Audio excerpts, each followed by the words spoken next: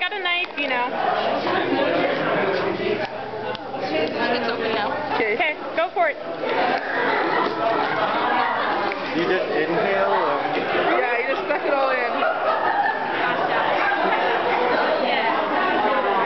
I'm saving mine. Yeah, that's today. enough. I'm going to scare some rabbits.